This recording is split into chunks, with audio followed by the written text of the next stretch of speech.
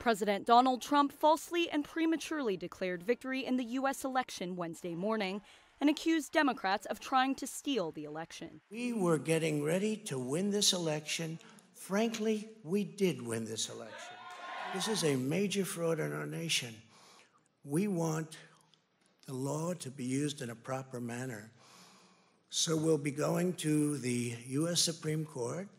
But results from some key states are not likely to be known until later due to this year's unprecedented volume of mail in ballots. But speaking to his supporters just hours earlier, Democratic opponent Joe Biden said he felt good about his chances and stressed that the election wasn't over until every vote was counted. We believe we're on track to win this election.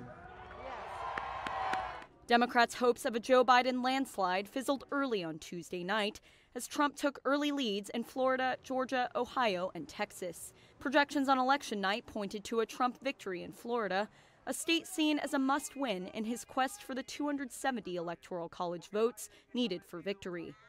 His strong performance there was powered by improved numbers with Latinos. There were few surprises among deep red and blue states, with Trump taking conservative strongholds like Alabama and Tennessee, while Biden captured the Democrat leaning Connecticut and Massachusetts.